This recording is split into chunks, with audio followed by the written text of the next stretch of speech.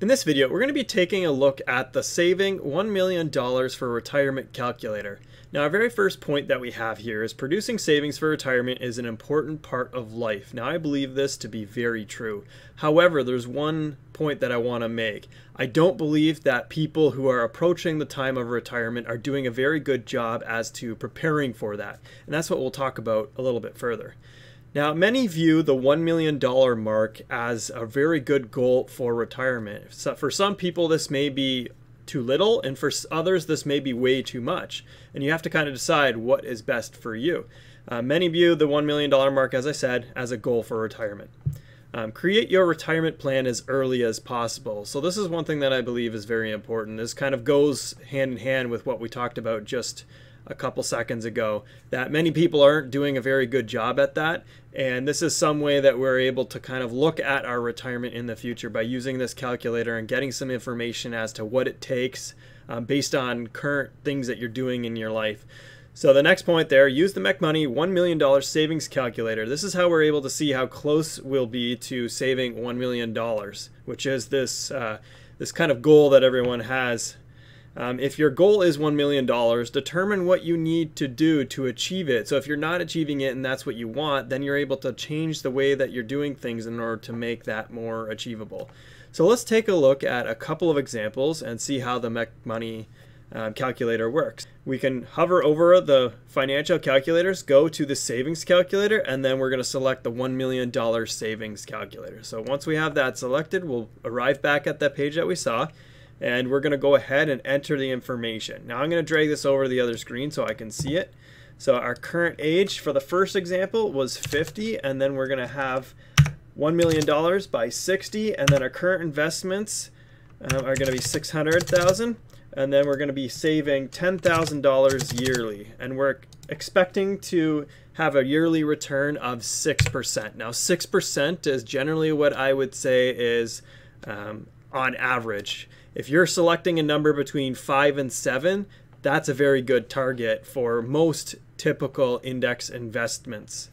So let's go ahead and hit our how much money will I have button here. So this just essentially runs the calculator.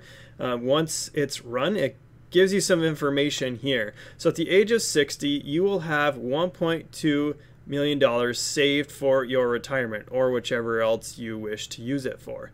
So our current investment amount was 600,000 and our yearly savings was the $10,000.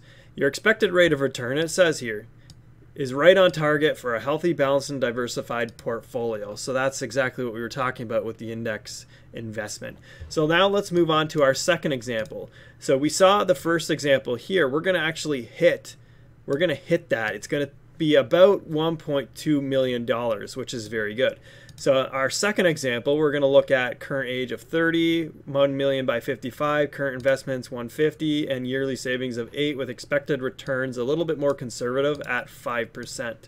So let's go ahead and look at that. We're going to change the numbers 30, 55, and then we have 8, 1, 2, 3, yearly savings with 150, 1, 2, 3, and we're looking at 5. So let's go ahead and run that. We hit the calculate button and we get our printout. So unfortunately at the age of 55 we will not yet hit our $1 million mark. However, if we were to wait until age 58, we would have $1.05 million saved for your retirement.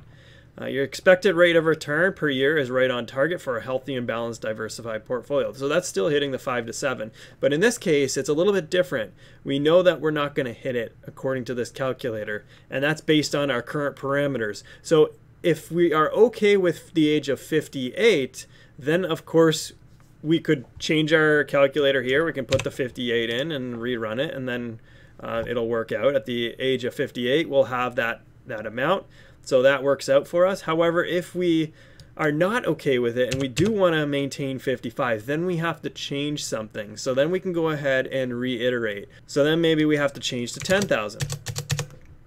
When we add $10,000 of savings per year, remember that's per year, and it starts at the very end of the first year, we're still not going to hit our goal if we only have $10,000 saved. So maybe what we need to do now is look at our expected yearly return and go from 5% and we need a, a more aggressive 6%. So 6% is still pretty typical and we should still see this message just like we have in the previous attempt.